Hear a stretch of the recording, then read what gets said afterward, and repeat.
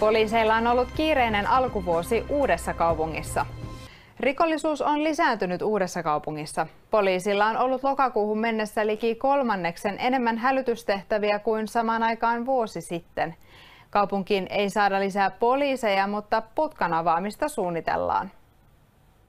Poliiseilla on ollut kiireinen alkuvuosi Uudessa kaupungissa. Hälytystehtäviä on ollut lähes 3000. Kyllä tehtävämäärät on noussut ja näin niin kuin päivittäisessä toiminnassa niin useimmin tulee semmoisia kiireellisimpiä päiviä. Kyllä pääsääntöisesti tehtävät on Laitilassa ja Uudessa kaupungissa ja sitten pienemmät kunnat siinä rinnalla. Että...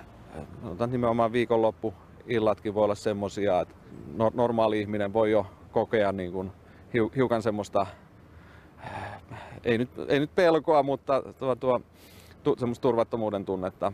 Osa syy lisääntyneeseen rikollisuuteen voi poliisin mielestä olla väkimäärän kasvualueella. Läppituntuma tietysti on, että, että sillä on totta kai vaikutusta, kun paikkakunnalla on muuttanut huomattavasti uusia ihmisiä, asukkaita, niin se sopeutuminen ei ole, ei ole tapahtunut ihan kitkattavasti. Myös kaupunginhallituksessa asiasta on keskusteltu. Huolta aiheuttaa myös terveys- ja sosiaalipalvelujen kuormittuminen. Kyllä meillä esimerkiksi ensi vuoden budjettiin niin meillä on tulossa 13 uutta vakanssia tuonne sosiaali- ja terveyspuolelle. Ei se joudu tästä, mutta yleensä siitä, että tilanne, tilanne on vaatinut sitä. Kaupunki kasvaa, onneksemme. Minkälaista täällä on liikkua? Kyllä päivällä on ihan turvallista, mutta illalla, illalla on se toisi. Tullut paljon vieraita, uusia ihmisiä kaupunkiin, niin ikävää se on sitten, jos tulee tämmöisiä tapauksia, niin heillekin kurjaa sitten tämmöistä tapahtuu. Aika vähän mä pyörin, mutta paljon on mopoautoja ja nuoria prääsää menemään.